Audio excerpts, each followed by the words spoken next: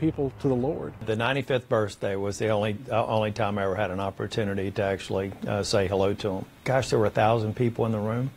Um, and he could have probably packed Charlotte Motor Speedway. North Carolina Senator Thom Tillis also sees Graham's legacy as one that will stand the test of time. Because his ministry is going to live on. His family is very active. Uh, Samaritan's Purse, which is something that Franklin Graham is responsible for, based in North Carolina, is touching people all over the world through uh, rescue efforts, through uh, helping people in some of the most uh, in some of the most distressed areas of the world. But on this day, the senator was just another well-wisher in the crowd who, like so many others, left a sad occasion with a smile. The family to me is amazing. When I was leaving the rotunda today, I went up and, and uh, offered my condolences to all of them. And I thought the thing that was most striking is while there was a tinge of sadness, uh, there was a lot more joy.